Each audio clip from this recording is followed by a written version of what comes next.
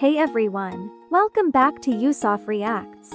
Today, we're diving into the final chapter of the Twilight Saga Breaking Dawn, Part 2. Whether you're a die-hard fan or just curious about how it all wraps up, we've got you covered. So let's get into it. Released in 2012, Breaking Dawn, Part 2, is the grand finale of the Twilight series, directed by Bill Condon. It's a film that's packed with drama, action, and of course, a lot of supernatural elements. The movie picks up right after the dramatic events of Breaking Dawn. Part 1. Bella Swan, now a vampire, is adjusting to her new life and her role as a mother to her half-human, half-vampire daughter, Renesmee. One of the most exciting aspects of this film is Bella's transformation. Kristen Stewart, who plays Bella, really shines as she takes on her new role with a blend of strength and vulnerability. And Robert Pattinson's portrayal of Edward continues to captivate as he supports Bella in their new life together. The plot thickens when the Volturi, the Vampire Council, learn about Renesmee and mistakenly believe she's an immortal Childa being that's forbidden. This sets up a thrilling showdown that will keep you on the edge of your seat. The film's climax is intense and action-packed, featuring an epic battle between the Cullen family and the Volturi. Without giving away too many spoilers, let's just say the film delivers a few surprises and dramatic moments that are sure to leave an impression. And of course, the film concludes with a poignant epilogue that ties up the saga's storylines, giving fans a satisfying closure to Bella and Edward's journey. Overall, Breaking Dawn, Part 2 offers a fitting end to the Twilight series, with its mix of romance, action, and fantasy. The film stays true to the essence of the books while delivering a visually stunning and emotionally charged conclusion. After the birth of Renesmee or Nessie, the Cullens gather other vampire clans. In order to protect the child from a false allegation that puts the family in front of the Volturi. The final Twilight saga begins with Bella now a vampire learning to use her abilities. And happy to see her daughter, Renesmee is flourishing. But when someone sees Renesmee do something that makes them think that she was turned, this person goes to the Volturi because it is a violation to turn a child. And the penalty is death for both who turned the child into a vampire and the child, cause they deem a turned child too dangerous. Alice gets a vision of the Volturi coming after them. So the Cullens try to convince them that Renesmee is not a threat. So they ask friends and family to come stand with them. But when someone who has it in for the Volturi shows up and tells them they should be ready for a fight. And they get ready. Bella Kristen Stewart awakens from her transformation from human to vampire. Aware of her new and heightened abilities, but unaware of changes within the coven such as Jacob Taylor Lautner having imprinted on her child Renesmee. Imprinting basically means that Jacob sees that person as some sort of a mate in the time to come. As a newborn Bella is stronger than almost everyone else in the coven. Her newfound enhanced senses allow her to notice even the smallest things like dirt.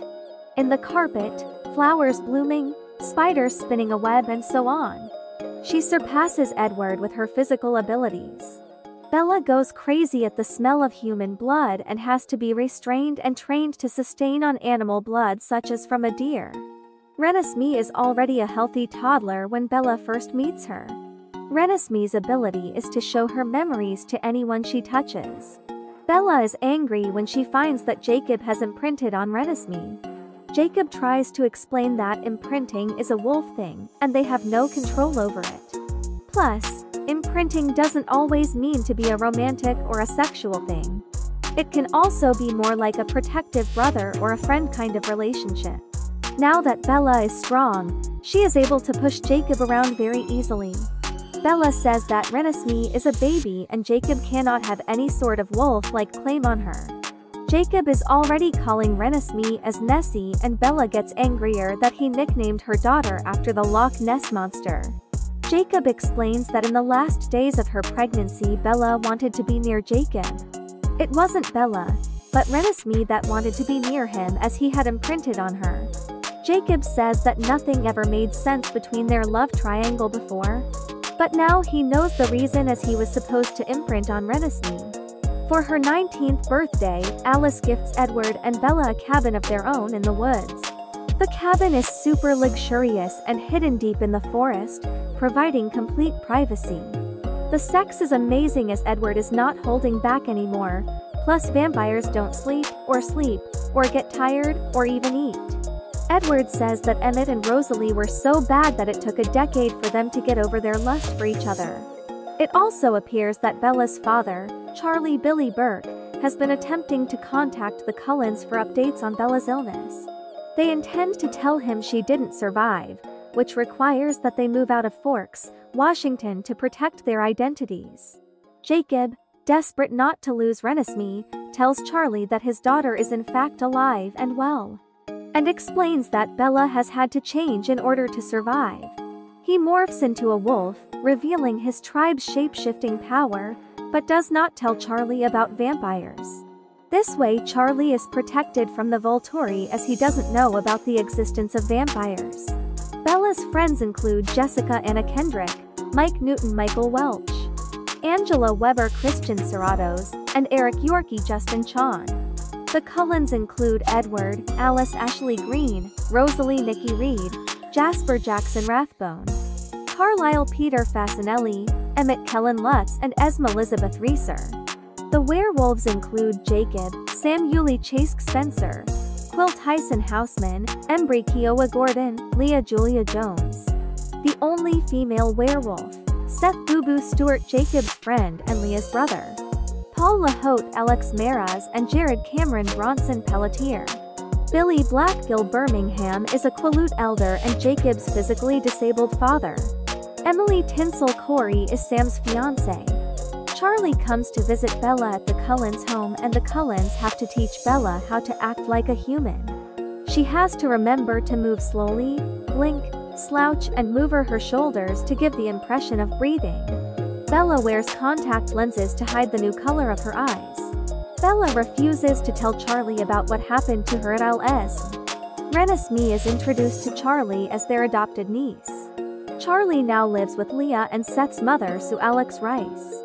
Several months pass with Carlisle monitoring Renesmee's rapid growth. On an outing in the woods, a bitter Irina Maggie Grace sees Renesmee from a distance and believes her to be an immortal child.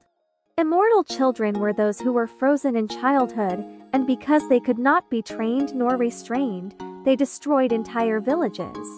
They were eventually executed, as were the parents who created them, and the creation of such children was outlawed. Irina is part of the Denali Coven and was a maid of Laurent, who was killed by the Cullens. She hated the Cullens and was looking for an opportunity for revenge. The original Denali mother created an immortal child and was destroyed as a result. Irina goes to the Volturi to report what she has seen. The Volturi include leader Aro Michael Sheen and his brothers Caius Jamie Campbell Bower. A Volturi elder who is very strict about vampire laws and Marcus Christopher Heyerdahl.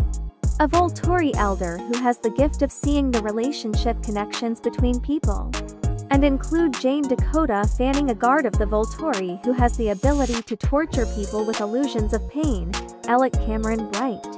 Jane's brother who has the ability to cut off senses, Demetri Charlie Bewley a Volturi guard who is a gifted tracker. And Felix Daniel Cudmore a Volturi guard who has supreme strength.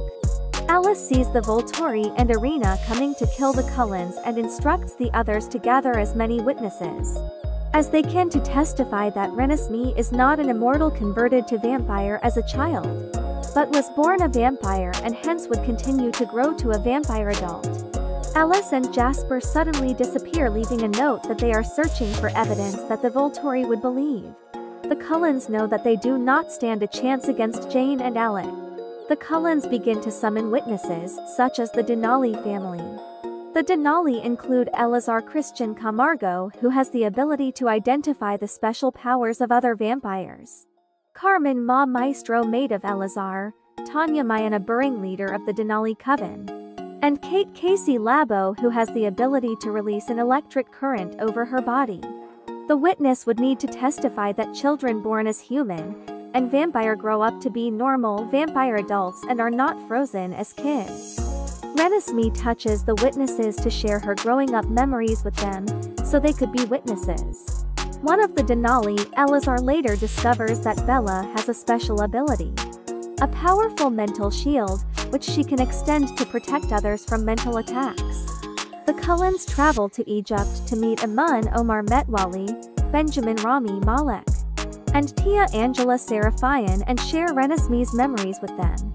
Senna Tracey Heggins and Zafrina Judith Shekoni has power to control minds and make them see what she wants come from the Amazon.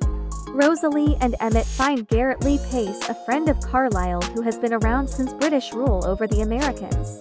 Alastair Joe Anderson is one of the last of Carlisle friends to join. As more and more vampire gather in the Forks a total of 18 vampires arrive. The instincts of the Quileute take over and many more tribe members shapeshift into werewolves. Vladimir Noel Fisher and Stefan Guri Weinberg arrive and inform the Cullens that the Volturi are preparing witnesses of their own who will testify to crimes committed by the Cullen. A coven head explains that when Aro wants someone from a coven, soon evidence turns up proving that the coven committed a crime. Aro always pardons one person when he declares their thoughts to be repentant. This person always has a unique ability and is given a position as a guard of the Volturi. Edward now understands that Aro is after Alice, as he has no one like her, and this is perhaps also why Alice left. The Covens know that a war is coming, and they don't want to fight. But Edward tells them that what is happening to the Cullens can happen to anyone anytime and encourages them to stand up to the Volturi. Some of their potential witnesses like Toshiro Masami Kosaka are attacked by the Volturi and prevented from supporting the Cullens. Carlisle and Edward realize they may have to fight the Volturi. Their witnesses ultimately agree to stand with them in battle. Having realized the Volturi increased the guard by falsely accusing covens of crimes to gain vampires from the destroyed coven with gifts. The coven trains Bella to project her ability of mentally protecting herself to anyone she desired. While all was going on, Alice took off, with a brief note indicating she was running away from the coming fight. In reality, Alice was busy gathering a key witness, which could change the battle. Alice left clues for Bella with a note in a book that guides her to J. Jenks Wendell Pierce as only her mind was unreadable. So that she could find the money and in passports Alice had arranged for Jacob and in Renesmee Mackenzie Foy to escape. Bella was distraught to know that in Alice's vision, only Renesmee and Jacob had a future. And Edward and Bella would not be a part of it. Bella starts to make preparations for Renesmee. She packs her a bag with all of their cash and writes multiple notes for her to be opened at different ages, so that she can learn the truth. Bella then counsels Renesmee never to leave Jacob. She sends Sue and Charlie away on an all-expense-paid, non-refundable fishing trip, so they cannot be targeted by the Volturi. The Volturi arrive prepared for battle, led by Aro. The wolf pack joins the Cullens and their witnesses against the Volturi. Aro is eager to obtain the gifted members of the Cullen Coven as part of his guard. Aro is allowed to touch Renesmee and is convinced that she is not an immortal child. Irina is brought forth and takes full responsibility for her mistake, leading to her immediate death. Jane tries to inflict pain on the Cullens to provoke them into an attack. But Bella projects her mental shield to protect all of the Cullens and their witnesses. Aro insists that Renesmee may pose a risk in the future, validating his claim that battle is necessary. Aro says that Renesmee is a hybrid child and hence it is not certain whether she will side with the vampires or the humans in the future. He says that humans are already developing weapons to kill vampires and Renesmee joining them would wipe out the whole species. This is the moment when Alice and Jasper return and join the battlefield. Before any violence, Alice shares with Aro her vision of the battle that is to come, during which both sides sustain heavy casualties, including Aro himself. Aro believes her, giving Alice and Jasper an opportunity to reveal their witness which is a half-mortal half-vampire just like Renesmee. The witness Nahuel J. D. Pardo from a native tribe in Brazil says that he was born when a vampire seduced his mother. His mother died in childbirth. He reached maturity in seven years and has a diet of blood and human food. He proves that he is mature, supporting the notion that Renesmee is not a threat. He lives with his Aunt Helen Marissa Quinn whom he converted to a vampire. The Volturi leave without a fight. Back at the Cullen home, Alice glimpses the future, seeing Edward and Bella together with Jacob and a fully matured Renesmee. Edward reads Alice's mind and feels relieved that Renesmee has Jacob to protect her. Alone in the meadow, Bella pushes her mental shield away and finally allows Edward a peek into her mind. Showing him every precious moment, she and Edward shared together and the two share a kiss after Bella telling Edward. No one has ever loved anyone as much as I love you, and both Edward and Bella saying they'll love and be together forever. Literally, the psalm, A Thousand Years plays in the background. So, what did you think of Breaking Dawn, Part 2? Did it meet your expectations for the series finale? Let us know in the comments below. And if you enjoyed this review, don't forget to like, subscribe,